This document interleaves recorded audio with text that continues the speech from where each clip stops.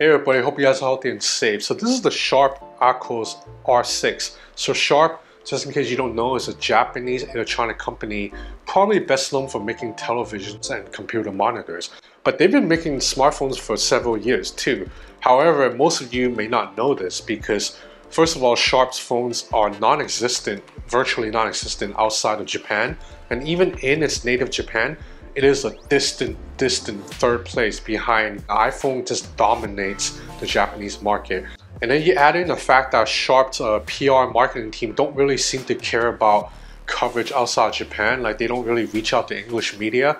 That explains why English tech sites or English YouTubers have mostly not covered Sharp phones. But this phone, the Sharp Aquos R6 is worth covering because there are three things with this phone that really stand out in the industry right now.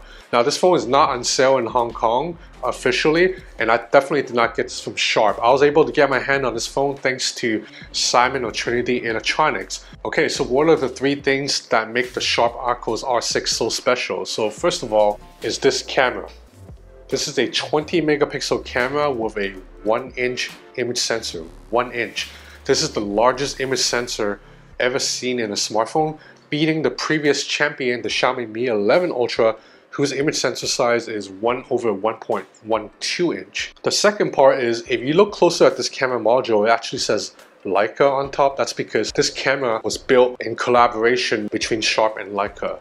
So this is kind of noteworthy because if you think of Leica and a smartphone for the past several years, you think of Huawei.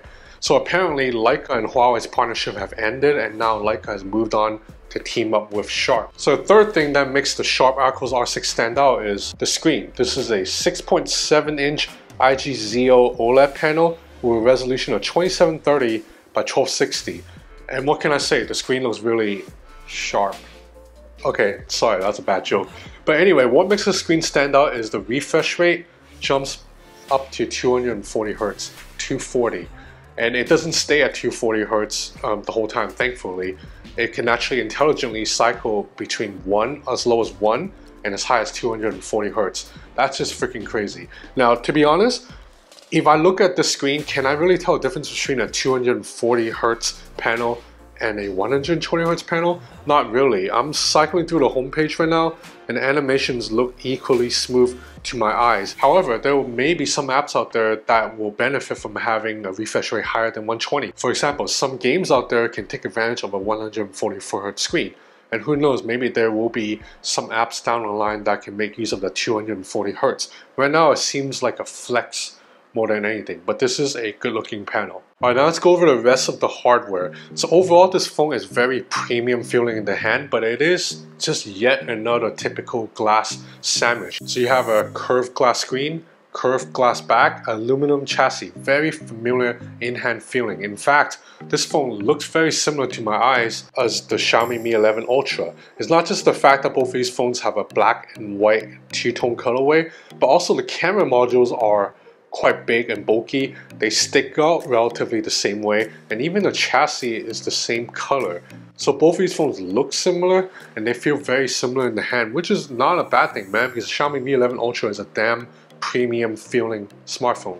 Okay, let's get back to the chassis though because Sharp does do something slightly different. So on the right side of the chassis, you have a volume rocker right here a power button down here and in the middle is another button. This is a button that to launch Google Assistant or any other app, but by default it launches Google Assistant. And also down below you have a headphone jack. So this is good news for a lot of you out there. And the headphone jack is paired with a above average stereo speakers.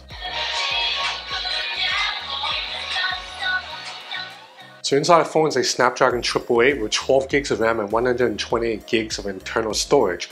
But anyway, we'll talk about the rest of the phone later. Let's talk about the main event, the thing that everybody wants to know about.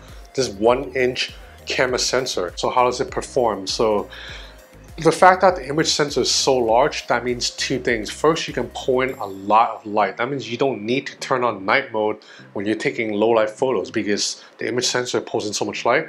The second benefit to having a larger image sensor is you have a shallower depth of field. That means when you're taking photos or even videos, your subject will be separated from the background a little bit. The background will be a little bit blurred out, have that depth of field effect, aka bokeh.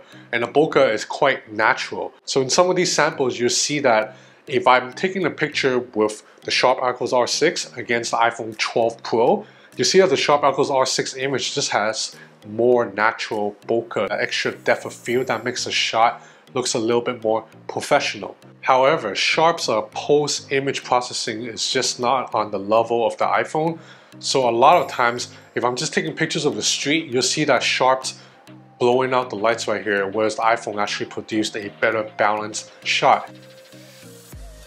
Now I also took some more photos pitting the Sharp Aquos R6 against the Xiaomi Mi 11 Ultra and the Samsung Galaxy S21 Ultra. And all three of these phones give you a more natural bokeh that the iPhone cannot because all three of these phones technically have large image sensors. And once again, I just think if you look at the color science, Xiaomi and Samsung's image just looks better across the board. And there's also a really bad shutter delay with the camera of the Sharp Aquos R6 right now in that when you press the shutter button, there's literally like a one second delay and that's resulted in a lot of photos that I thought I took the photo and then later when I look at it, it's quite blurry. So I say so far after early testing, I'm a little bit disappointed with this camera. As impressive as camera hardware is, in smartphone photography, software is probably equally as important. It's probably 50-50. You need good camera hardware and also good camera software. Okay, it is like 2.17 a.m. right now and I am editing this video that you're watching. I'm still editing right now. And I just wanted to add this part in because I realized I might have been a little bit too harsh on the Sharp Aquos R6 because to be fair, this phone is only two days old. It came out two days ago, so maybe a software update will come very soon that will improve camera performance. And even right now, even though color science and dynamic range lags behind the iPhone 12 Pro and the Xiaomi Mi 11 Ultra and the Samsung Galaxy S21 Ultra, I do think the natural bokeh that comes out of this camera in still photos and videos do look very aesthetically pleasing. So the hardware is impressive. Okay, let's take a look at software. So this phone runs Android 11 and out of the box, unfortunately, there's a lot of bloatware. There's like Amazon, there's like a Disney app, and there's also a lot of apps from Docomo, which is a Japanese carrier. Now, fortunately, you can uninstall, I would say, half of the bloatware, but a lot of the other ones are just stuck here. You can't get rid of them. And also, if you look at right here, there's a button to launch the app tray. You cannot get rid of this button because if you have one tray, you have to have this button. Swiping up doesn't bring up an tray. Instead, it brings up this little uh, Japanese Docomo newsfeed. So that's unfortunate. Needing to press a button to bring up the app tray is quite outdated. Now, if you jump into settings, it is mostly a clean settings page except when you jump in here, this is Aquos tricks. Now this lets you adjust special features of the phone. Like for example, you can adjust the color signs of your display and then you can adjust the refresh rate for each individual apps. So that's pretty cool. You can have like one app to run at 60 Hertz at all times if you like. And just a bunch of other features here. Now one funky thing is you can shake the phone to launch an app. So I've set it so you can shake the phone to launch Instagram. And then it just launches Instagram immediately. So overall, I would say the software experience is serviceable. I wouldn't say this is a great Android skin, but it's not terrible either. Now I haven't used the phone long enough to give my own gauge of battery life yet, but there's a 5000 milliamp hour battery in there. So as long as the refresh rate doesn't constantly jump above 120, I think you should be good to go. Um, should be able to last you like 9-10 hours outside, I think. That's what I get from the Xiaomi Mi 11 Ultra.